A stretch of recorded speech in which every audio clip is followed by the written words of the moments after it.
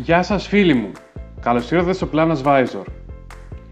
Σίγουρα δεν είναι και η καλύτερη μας όταν κάνουμε βίντεο για φυσικές καταστροφές όπως το χαλάζι. Δυστυχώς όμως ο καιρός είναι ένα κομμάτι της παραγωγής και θα πρέπει να πορευτούμε με αυτόν. Η ζωή συνεχίζεται και το σημαντικό είναι να αντιδράμε σωστά μετά από την οποιαδήποτε δυσκολία. Όσοι ασχολούμαστε με τον αγροτικό τομέα, θα ξέρουμε ότι το χαλάζι είναι ένα καιρικό φαινόμενο που μπορεί να καταστρέψει ολοκληρωτικά μια καλλιέργεια, όπως έγινε και με τις βρώσιμες αιγές της Χαλκιδικής.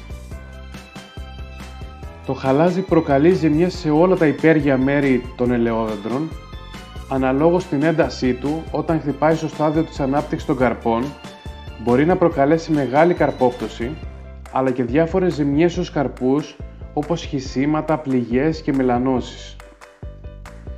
Τι κάνουμε όμως όταν τα δέντρα χτυπηθούν από μια καλοκαιρινή χαλαζόπτωση; Μετά την πρώτη εκτίμηση της ζημιάς, αφαιρούμε άμεσα τυχόν σπασμένους κλαδίσκους και ψεκάζουμε με χαλκούχο σκεύασμα.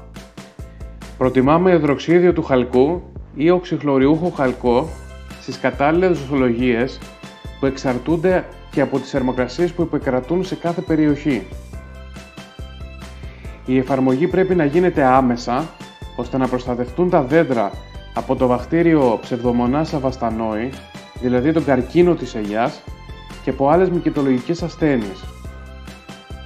Πρώιμη συγκομιδή καρπών συνιστάται για αποφυγή περαιτέρω προβλημάτων από μικητολογικές ασθένειες.